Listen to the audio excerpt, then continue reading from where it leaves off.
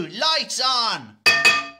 Lights on. Mary Lou, find Irish government statistics for popularity for the first quarter of 2018.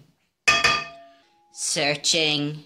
I found this article online. Support for Fine Gael has finally taken a dip and Sinn Féin are the big winners. Fine Gael down 3% to 31 and Sinn Féin up 3 points to 22. Uh, Mary Lou, I didn't ask you that. That's not a question, Daleo. Mary Lou, don't you dare answer me back. Still not a question, Daleo. Okay, Mary Lou, who here is the greatest leader in the country? Lights off.